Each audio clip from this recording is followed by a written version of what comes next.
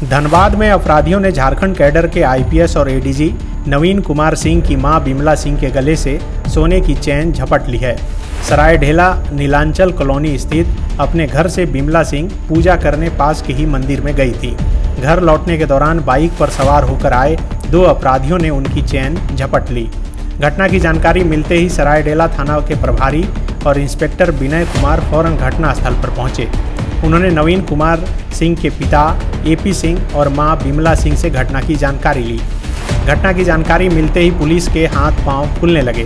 धनबाद से लेकर रांची तक पुलिस अफसरों के फ़ोन घनघनाने लगे। इंस्पेक्टर के अलावा DSP law and order Arvind Kumar Sinha भी सक्रिय हुए। घटना स्थल के आसपास के क्षेत्र में लगे सीसीटीवी कैमरों को पुलिस खंगालने लगी। पिछले कुछ दिनों में शहर के अंदर चैन छिंतई की घटना बढ़ गई है। अपराधियों की धरपकड़ नहीं होने के कारण उनके मंसूबे सातवें आसमान पर पहुँच चुके हैं। अब वारदात पुलिस के बड़े अधिकारी की माँ के साथ हुआ है, लिहाजा पुलिस ने अपनी सक्रियता बढ़ा दी है। आपको बता दें कि नवीन कुमार सिंह 15 मई 2021 से केंद्रीय प्रतिनियुक्ति पर हैं। झारखंड में एडीजी वायरलेस रहते उन्हें सेंट्रल डेपुटेशन पर एनटीआरओ में बतौर सीनियर एनालिस्ट बनाकर भेजा गया था।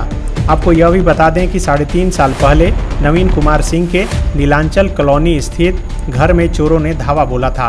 उस समय वे रांची में आईजी एचआर थे। 11 जनवरी 2020 की रात चोरों ने उनके घर को निशाना बनाया था।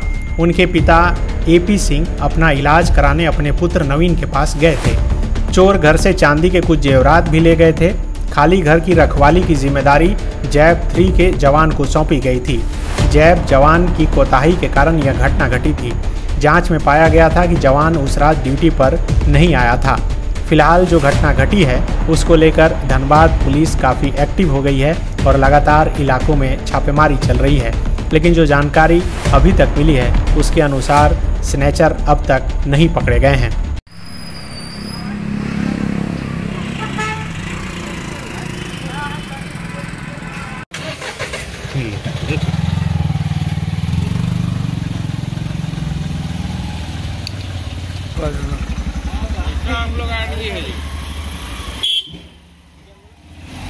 बायोम जो है मेडिकल प्रिपरेशन का एकमात्र संस्थान जहाँ है complete digital classrooms, video lectures, student tracking system library facility and 100% result oriented rankers batch biome Hinoo एवं नगरा टोली रांची।